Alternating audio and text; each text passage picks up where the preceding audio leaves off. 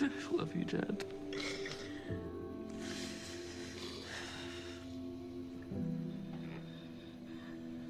I love you. Carl, I love you so much.